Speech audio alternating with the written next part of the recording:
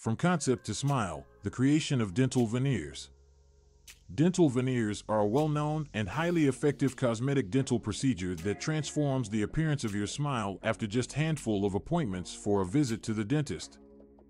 However, have you ever considered how the thin shells made comprised of composite resin make themselves?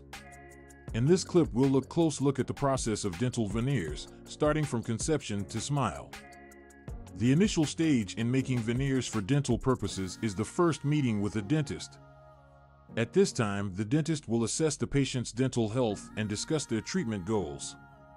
It is an essential stage in the process since it assists the dentist decide whether veneers for dental purposes will be the right choice for the patient. It also guarantees that the plan of treatment is customized to meet the individual requirements of each patient.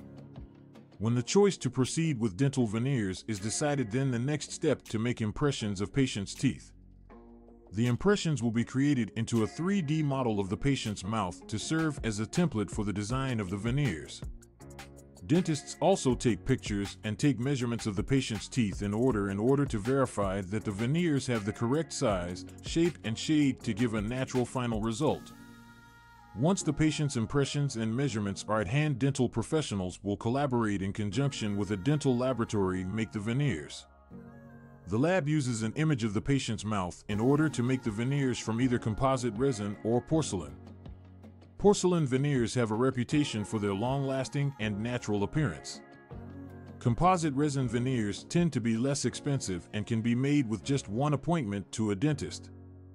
Before the veneers are permanently fixed to teeth of a patient an initial fitting test is carried out to verify that they're fitted properly and appear natural. Dental professionals will perform any adjustments necessary to the veneers in this phase so that they are a perfect fit. After the patient is pleased with the appearance and look of the veneers, they'll be secured to teeth by using a specific dental adhesive. The last stage in the process of creating dental veneers is applying the final elements. The dentist polishes the veneers with a high gloss and will make any adjustments that ensure a perfect and perfect fit. The patient is then instructed about how they can take care of their newly installed veneers, which includes the proper hygiene of their mouth and routine dental checks. To summarize, the making of veneers for dental use is a lengthy procedure that requires meticulous scheduling, precise measurements, as well as skilled workmanship. From the first consultation until the final fit, each stage is meticulously orchestrated for a gorgeous and natural looking result. If you're thinking of getting your smile to look better through dental veneers, make certain to talk with a skilled and knowledgeable cosmetic dentist about the possibilities.